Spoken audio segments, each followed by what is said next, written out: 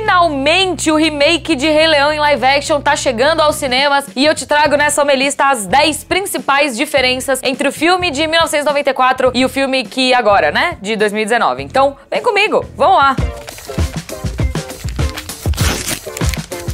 Mas se você tá se perguntando, querido telespectador, que camiseta é essa que você está usando de Rei Leão? Muito boa pergunta. É da Ering. Ah, porque a Ering fez uma coleção especialíssima de Rei Leão e você pode conferir tudo com mais detalhes no link que tá aqui embaixo na descrição ou na loja Ering mais próxima de você. Mas a Ering tem vários itens diferentes para pais e filhos. Eles estão com uma coleção especialíssima que você pode garantir um presente pro Dia dos Pais e aí você pode usar a mesma roupa que seu pai ou que o seu filho. Enfim, tem várias coisas diferentes. É só você procurar o link que tá aqui embaixo na descrição que você vai ver tudo com mais calma, tudo que tem nessa coleção maravilhosa da Ering de Rei Leão.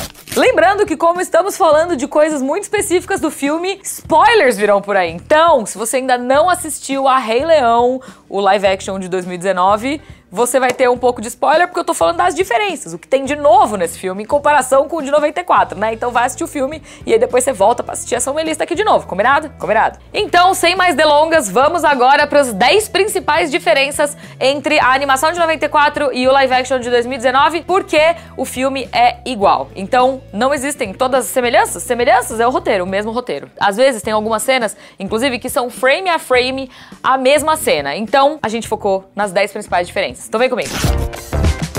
A primeira diferença da nossa lista é que o filme é bem mais realista. E não só no sentido literal da palavra, em que os leões parecem leões mesmo, né? Porque o John Favreau usou uma tecnologia muito legal e diferente nesse filme, mas no sentido de que o filme perde a magia dele. Então, a gente tem algumas cenas ali na animação que eram um pouco mais mágicas e diferentes. Nesse filme, é tudo bem real mesmo. Tudo bem centrado na realidade.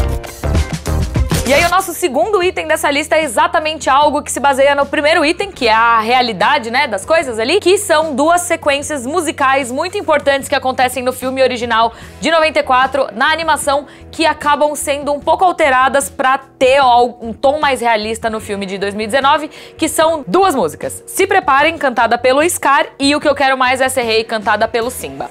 A animação mostrava tudo de uma forma bem colorida e diferente, teatral, e era bem emocionante. E aqui no filme de 2019, elas ficam bem mais realistas. E se preparem, fica bem mais sombria também. Então ela perde aquele tom flamboyant, bem dramático que o Scar tinha na animação, e ele ganha um tom bem mais sério e. Hum.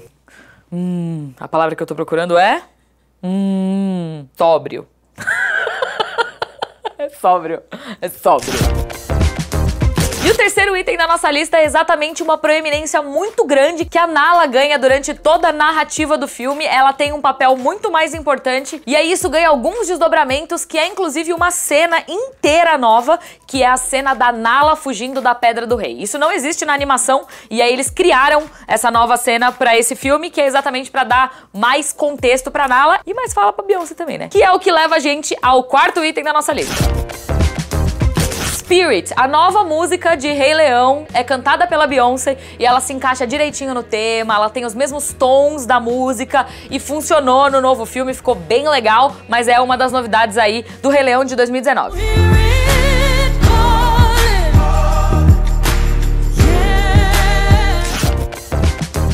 Falando em música nova, tem uma nova adição nesse filme que não existia na animação original, mas que ficou bem legal e na verdade é uma substituição. Sabe aquela cena que o Timão e o Pumba vão servir de isca viva para as hienas, enquanto o Simba e a Nala estão voltando pro reino e eles precisam chegar até o Scar, mas as hienas estão no meio do caminho? Pois é, lá no original eles cantavam uma música de Ula, que era muito divertida. Se você viu a animação recentemente, você vai perceber que essa música foi trocada no live action por uma outra música. Mas, meus amigos, tinha muita gente que achava que isso ia ficar ruim e não ficou ruim não. Ficou muito bom, inclusive. Porque nessa nova versão, o Timão e o Pumba cantam à vontade vontade, ou em inglês Be Our Guest de Bela e a Fera, e combinou direitinho. Então, se você é fã das, dos filmes da Disney, pode ficar muito feliz porque ficou muito legal e a cena faz todo sentido, porque eles estão prestes a serem comidos, né? Por hienas, né? Ah. Esse nosso próximo item da lista é muito importante porque o filme, apesar de ser bem parecido com a animação, tem algumas cenas extra. Uma delas sendo aquela que eu já falei, da Nala escapando da Pedra do Rei. E aí tem algumas outras pequenas adições também ali ao longo do filme, o que fazem com que o filme de 2019 tenha 20 minutos a mais do que a animação original. Então, tem coisa diferente sim, você só tem que ficar bem ligadão pra perceber, porque é quase que imperceptível. O sétimo item dessa lista é bem pequeno, mas é muito importante para mostrar como o filme se adaptou por causa de discursos de geração e etc. No diálogo que o Mufasa tem com o Simba, naquele momento que ele mostra todo o reino e fala: tudo que a luz toca é seu, Simba. Isso acontece na animação. No filme de 2019, Mufasa nunca fala que o reino é do Simba. Inclusive, quando Simba pergunta: tudo isso é meu pai? Ele fala: não mas é sua responsabilidade cuidar disso. Então eles mostram exatamente que o papel de um governante é cuidar e não ser o dono de. E é muito legal esse, esse recado que Rei Leão passa agora em 2019, num momento tão complicado para o mundo inteiro, né? Então tá aí um ponto positivo. E aí, falando em pequenos detalhes, um outro que mudou bastante foi como o Rafik descobre que o Simba tá vivo. Na verdade, as coisas são bem semelhantes na questão dele receber algo que é do Simba, mas eu vou explicar por que, que eu selecionei isso para entrar nessa lista. Porque é uma coisa muito interessante, porque tem a ver com o visual novo do filme, como ele foi caro e como eles queriam mostrar que, que eles fizeram ficou bonito. E ficou bonito, viu? Ficou bonito mesmo. No original, o Rafik descobre que o Simba tá vivo depois que o Simba, chateadíssimo com a piada que o Timão e o Pumba fazem sobre as estrelas e os reis estarem lá, sai andando e se joga no chão. Aí poeirinhas voam e chegam até o Rafik. Bem rápido, questão de meio segundo no filme, assim. Rafik joga aquelas poeirinhas, sente o cheiro do Simba e descobre que o Simba tá vivo. Já no filme de 2019, o Rafik descobre que o Simba tá vivo porque ele recebe um pedaço de juba do Simba. E aí, esse pedaço de juba realmente viaja. E essa sequência no filme de 2019 tem uma, muito mais tempo, tem minutos. Ela tem minutos, ela não é meio segundo, ela tem minutos. Então a Juba sai lá da onde eles estão, viaja,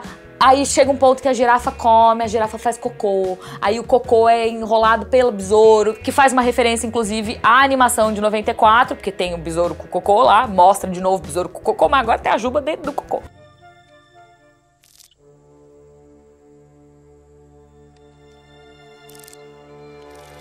Aí quebra o cocô, aí a juba sai voando de novo, aí a formiguinha pega aquela juba e leva até o Rafik. Tudo isso por quê? Tudo isso porque o John Favreau queria mostrar muito provavelmente todo o trabalho de desenvolver os cenários que eles fizeram e as coisas são realmente muito impressionantes. Cada detalhezinho de ranhura no chão, pelo de bicho, a textura do cocô, da juba, tudo é maravilhoso nesse filme. Então, ponto positivo novamente.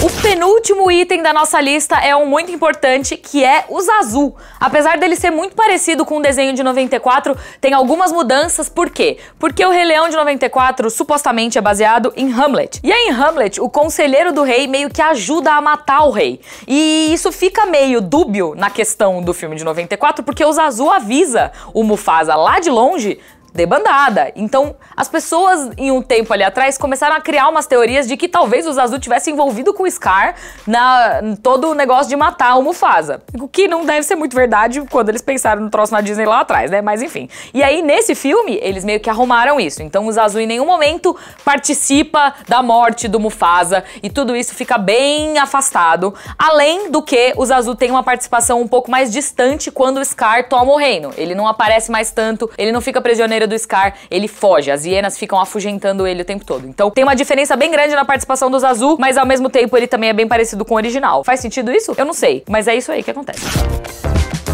E aí, o décimo item da nossa lista, o último, mas definitivamente não menos importante, finalmente o Pumba solta seu pum. Não se preocupe, o vento espanta o cheiro. Eu já tô com um mau pressentimento. Isso passa, confia em mim, isso passa. É isso mesmo que você ouviu. Finalmente ele consegue falar que ele peidava. é maravilhosa. Na sequência musical, eu já vi o filme dublado e legendado e ele fala a palavra peido. E é incrível. Então é isso, essas foram as 10 principais diferenças entre a animação de 94 e o live action de 2019 que eu percebi assistindo ao filme duas vezes já. Então se você quiser, se você viu mais alguma coisa, quiser deixar um comentário aqui embaixo, Aline, você esqueceu de falar de tal, pode escrever aqui embaixo que a gente vai ler tudo. Um beijo e até a próxima. Tchau!